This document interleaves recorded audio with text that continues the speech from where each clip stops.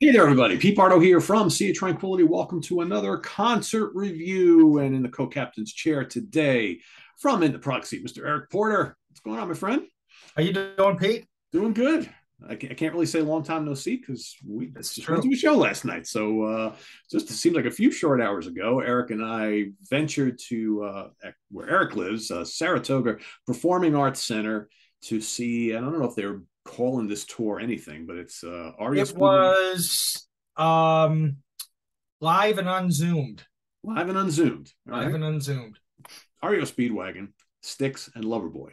So three bands that uh, are no strangers to classic rock audiences. Of these bands have toured together before uh, in this configuration, and I'm sure other configurations. And uh, it, it this it was a summertime tour cycle uh, event that uh, you know seems to be very very popular here in the states in recent years. So usually you can see some sort of a a bill like this, and uh, yeah, Eric and I talked about it not long, a couple months ago, and I'm a huge Styx fan. I've seen Loverboy and REO many times each before, and I like them too.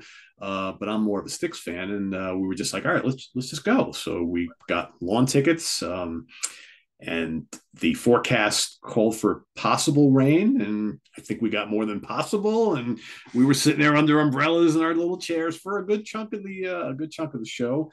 Um, I think it was Styx mostly, right, Pete? Mostly got most Styx. of the rain. Yeah, I think Loverboy. I, I think we just got a couple sprinkles, but it was most of Styx set and a good chunk of uh, REO set as well. Uh, just kind of just this constant rain on and off, and you know what are you going to do, right? Uh, and it was uh, thankfully it didn't really get that cool last night, No. so I think that was in our favor. The temperature stayed pretty static, but one of the before like we went last night, we were like kind of talking back and forth about you know how many people you think are going to show up for this. It's a Wednesday night, you know, middle of the summer. Uh, you know, COVID's still somewhat of a concern, so I think we were both like, yeah, you know, five thousand would probably be a pretty good prediction of how many people might show up for something like this.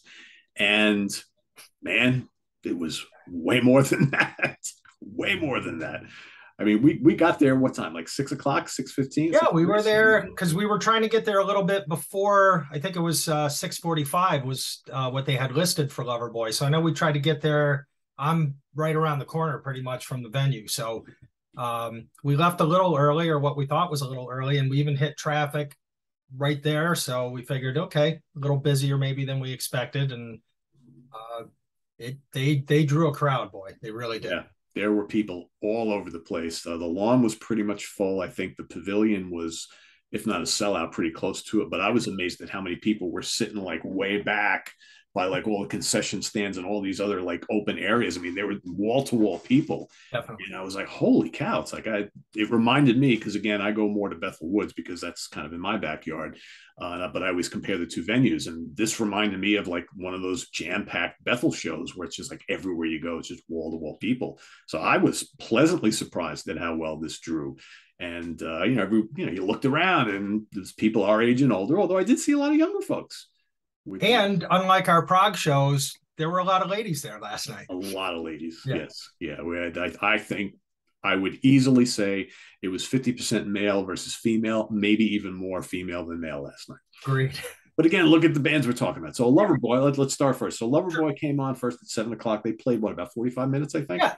They actually had a pretty good set, I thought, in terms of time. They gave them a good run for, um, you know, normally, and especially with a three act show, sometimes you figure it's 25 minutes, half hour, and they're gone. So I think Yeah. they got about a 45. I've got um, nine songs, and I think people who knew them, I mean, we're of that age. They were on MTV constantly uh, when we were in high school.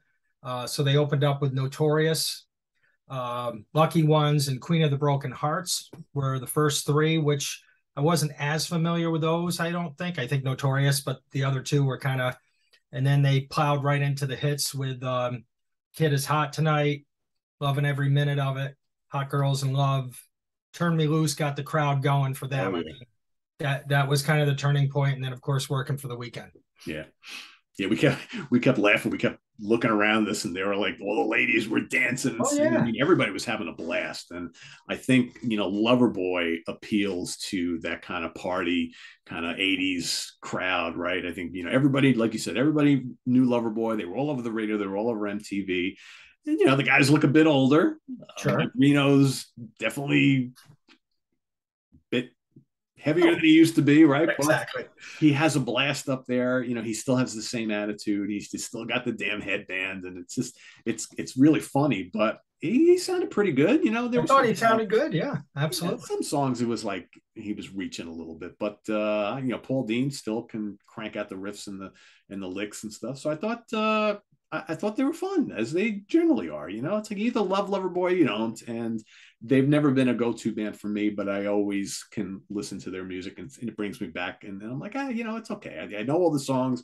You Yeah. kind of like all the songs. I, you know, not a band I would go out and buy all their albums. I think I have a greatest hits, but uh, they're always fun live, and they were. I, I think, like you said, in that environment, all three bands really kind of meshed well together. The crowd, I mean, I don't think there was anyone in the crowd that's turning their back saying, well, I'll come back in for uh, Styx or REO. I mean, right from the start, everyone was there into it. And like you said, people, we were looking around us, people were dancing. Um, and that continued most of the night. So, Yeah, it did. And yeah, after Love Boy, we went to go hit the men's room and we were talking. It's like, well, we were fully anticipating that REO was going to be up next. And we're like making our way back. And all of a sudden, we hear, you know, the fight of our lives from the new uh, Styx album, Crash of the Crown. And we're like, holy shit, Styx is going on second. And uh, they played a lengthy set, packed. This is what I really liked about it with all the, the, the hits, the staples that you'd expect, but they played a, a good couple of songs, handful of songs from the latest album, Crash of the Crown, which for me is what I wanted. So, Fight of Our Lives started things off, and then they, they didn't waste any time. They went right into Blue Collar Man, and then right into Grand Illusion, then right into Lady. So, right there, you got three staples in a row. Then the title track to Crash of the Crown, which was great. Then back to Light Up. All right. And then you got Tommy out there with um, acoustic guitar doing Sound the Alarm, which I thought was great. Tommy Shaw is just like a freak of nature, man. He just still sounds so good, still energetic up there on stage, and uh, yeah, just the guy impresses me every time I see them. They they i mean we talked about it after and obviously we'll get to REO but i think that was one of the things we discussed. I mean very energetic uh larry gowan or lawrence gowan. Incredible. I mean i i said that to you. I said you you could not have picked a better guy to replace dennis deyoung in terms of the live show. And i know you're more i'm not really familiar with the stuff they've done with him studio wise but i got to tell you i mean to me they were the they were the act of the night by far and Oh, that's not to diminish what anybody else did because it was a fun night but they Yeah. killed it up there i thought they were Well, yeah, it wasn't even close. And, and again, like you said, that's no disrespect to REO or Loverboy, but Styx were the highlight of the evening by far. And that's and again, I'm a big fan. I'm not, I'm not, I'm trying not to be biased here, but you could see based on the crowd reaction and everybody just getting into every song that it wasn't just us. It wasn't just us. Because there was a little lull in the action during a, a chunk of REO's set, which I thought was was really good. Yep. But you could see that a good chunk of the people seemed to really be there for Styx. Uh, and it kept on going from there. They played Rockin' the Paradise from Paradise Theater, which was really good. Uh, Fooling Yourself from Grand Illusion, which was excellent. Uh, then Lawrence did a little kind of piano thing, Criminal Mind, uh, that moved into Too Much Time on My Hands. Again, back from the Paradise Theater album. Then you had uh, Kedive and Lost at Sea from uh, Crash of the Crowns. And then, of course, Come Sail Away to finish off the regular part of the set. And then the encore, which we were a little bit surprised they, but I think I'm pretty sure they played it the last time I saw them. Uh, Mr. Roboto from Kilroy was here. And as much shit as that album has taken over the years, that song still, I think, resonates with crowds and people were totally into it. it and- worked live it really did Yeah, it does work live, right? And then, of course, Renegade was the last song. And that was, to me, that has become the true final encore song for Styx, even above Come Sail Away. Because I've seen them before where they played Come Sail Away last. And that's probably next to Babe, their most recognizable song. But to me, I think Renegade really is the showstopper. it's it's heavy, it's fiery. Everybody knows all the lyrics, and it, it's it gives the audience a little you know singing time. And uh, I I just thought it was great. And they went down a storm, and people I think wanted more. And hopefully I wasn't bothering you with my air drumming, but I know I got going to that one. Uh, I was doing it too. I, I was doing it throughout the whole set. Yeah, I was singing. I, I, could barely talk after they were done, but uh, but you know because they didn't headline, I guess we didn't get a couple of songs from them. Uh, most notably, we didn't get um, "Sweet Madam Blue" mm-hmm. from Equinox. We didn't get "Crystal Ball," title track from that album. Um, that's probably it. I mean, you know, they don't play "Babe" anymore, so I think that's probably the only two songs that I think they would have snuck in. Uh, you know, had they were not they're I mean, they're still kind of pushing the last album, right? So you know, you take out one or two of those tracks, you throw those two in, then it becomes a, a best of evening once again. So um, but yeah, all in all, great. I think they all sounded good. Uh, Todd Sucherman on drums, terrific. Yeah you know, JY, terrific. They brought Chuck Panozzo out for two songs like they normally do. You got, I'm drawing a blank on his name, but the new guy who is their yeah. co-writer and producer now, I, I, totally forget his name, but um, he's up there on on third guitar, you know, throughout the whole set now. So uh, yeah, all told, great. Everybody sounded good. They played their asses off. Great set. No complaints. Highlight of the night. So then we get REO Speedwagon. So uh, headlining the show, and again we got uh, Kevin Cronin, who's look he, he at least a couple times he kept talking about how old he is, and I was like, he turned oh. seventy, I think, right? He yeah. turned seventy this year. He's got, he's got the short haircut and the weird green glasses, and he looks, you know, looks like uh, you know, yeah. he's looking at his age and he doesn't care, but he he was pretty energetic the whole show, and you know, a lot of people shit on you know his singing ability in recent years. And I would say for the most part, he was pretty good. Uh, there were some of the older tracks where I think he was struggling to hit the high notes, but he just seemed to give it his all. And I thought he did a pretty good job because I've seen them before in you know more recent years. I think I last saw them like maybe eight or nine years ago, and he didn't sound very good that night. I thought he sounded better last night than he did back then. But uh, they played a lot of what you'd expect. Yeah. All the hits and some really strong, I don't know want to call them deep cuts, but like of the more of the important songs from the early part of their catalog. And it's funny because for me, some of my favorite moments of the night were those early, early hard rock songs that from the first handful of albums, which you could tell most of the people in the audience had no idea, right? Because they played Riding the Storm out, they played Back on the Road again, which is my, my, favorite song of the whole night. That's an early song. And I got the impression half the people or more had no idea what those songs were. But Don't Let Him Go, Take It on the Run. Everybody's into that. Uh, they played Keep Pushing, another great older song. That was excellent.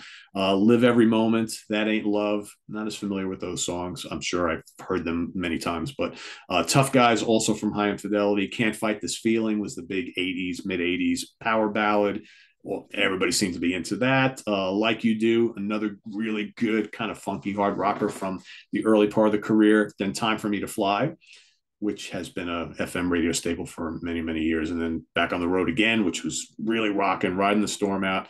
And then, of course, Keep on Loving You and then Roll with the Changes to finish it all off. So for me, 13 songs, really good set. The band was kicking. Uh, their current guitar player, really good. You know, halfway through their set, you know, you mentioned to me that uh, kind of miss Gary Richrath, but um, I think this guy is really, really good as well. And I think he does his best to kind of do, you know, hone in on Gary's kind of tone and licks and whatnot, but, you know, be himself. He did. He had the Les Paul, I think, if not all night, most of the night. Yeah. So he was, you know, he he's obviously staying in that lane in terms of uh, the only thing I had mentioned to you too was I didn't remember seeing amps on stage, so I was wondering if he was using right. a fractal or one of those. Had to um, but yeah, he sounded. Uh, his tone was good. It's just Richrath always for you know, um, because you're same age as I am, so I remember those early videos, and I wasn't the biggest REO fan, but I didn't dislike them, and I always liked his playing. Yeah. So, but uh, yeah, he stayed true to everything, and you know, he even got the uh pick going down the Richrath slides. He did those. So I'm like, yeah, he's he's got it. Yeah, and this and we're talking about Dave Amato, uh the Dave Amato, so and he's God, he's been in the band now since 89. I was gonna say he's been there. He was there longer than Richrath ever. Yeah, basically, yeah. But uh, you know, Neal Doughty still on keyboards. In fact, he's the only original original member. Kevin Cronin, Bruce Hall, who's been in the band since '77 on bass, uh, and then Brian uh, hits on drums, and he's also been in the band since '89. So this lineup has been together now for a you know over 30 years. So pretty cool. Um, yeah, I mean, I, I couldn't complain about this set. I just, for me, after we were walking out of there, I was like, you know, all three bands were really, really good, but man, Styx kind of stole the thunder from, you know, of the night, in my opinion. I would agree.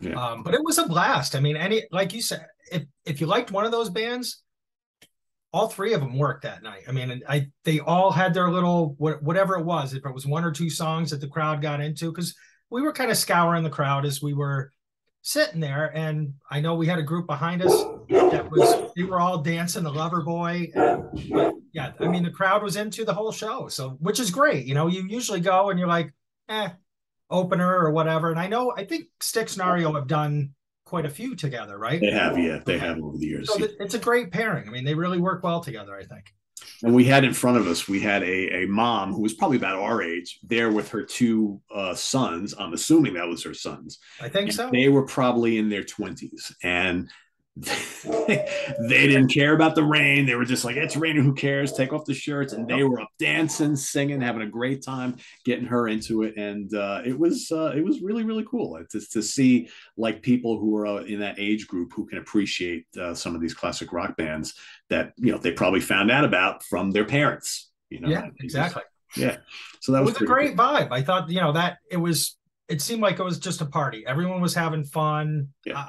I didn't, you know, normally you go to a show that's that crowded and, you know, it can get spotty here and there, but I thought it was a really good vibe for that show. I really, and you know, everyone seemed like they were having a ball. And like you said, we saw that. I wish I could get my daughter to go to some of those shows with me as we were talking about too. But yeah, she did. She pulled some strings, but those kids were into it. Definitely. Yeah yeah so it was definitely a good time. So uh and we did uh see there was uh, some sea tranquility fans out there in the crowd so that's always good to see. And it, it, this is really funny and, and, such a small world. So at one point uh i took a pic of eric and i sitting in the lawn and posted on the on the sea of tranquility uh facebook page. And a sea of tranquility viewer happened to see that and saw the person sitting behind us was a good friend of theirs. So like, can you tap them on the shoulder and say we watch the channel all the time? And that's, that's like what a small world, right? You know, amidst so like cool. plus thousand people in the audience, and there you go, right? So, yeah, right, exactly. Yeah, that was awesome. Kyle, good good to meet yep. Kyle. So I'm sure Kyle's watching right now. So uh, good to meet you at the show, and uh, we'll see uh, him at Sea Tranquility Fall Fest on October first. Hopefully, um, um, amidst a lot of you. So uh, that is just a little over a month away. So, uh, but yeah, that's our little review of the show last night. Styx, REO Speedwagon, and Loverboy at Saratoga Performing Arts Center on the what was it, the seventeenth of August, twenty twenty two. So, uh, I want to thank Eric for uh, suggesting we go to the show and uh, you know hanging out. And uh, this was a lot of fun. And uh, thanks for watching, everybody. Visit us on the web at www.seatranquility.org. We're on Facebook. We're on YouTube. All together, all the damn, time. please uh, click that like button so YouTube sends this review out to uh, all of YouTubeville. And uh, stay tuned. What do we got? Today is uh, Thursday. We got uh, Monsters Den coming at you tonight. Friday morning at the Funhouse with Martin Popoff tomorrow. UK Connection on Saturday and Sunday. You've got uh, The Curse of the Collector. That's coming up on Sunday hope, I hope to get you a uh, album ranking too uh, before then as well. We'll see how that goes. So uh, if not this weekend, you'll get one or two next weekend. So thanks everybody for Eric Porter. I'm Pete Pardo. Have a good one. Enjoy the rest of your week and your weekend. Bye bye.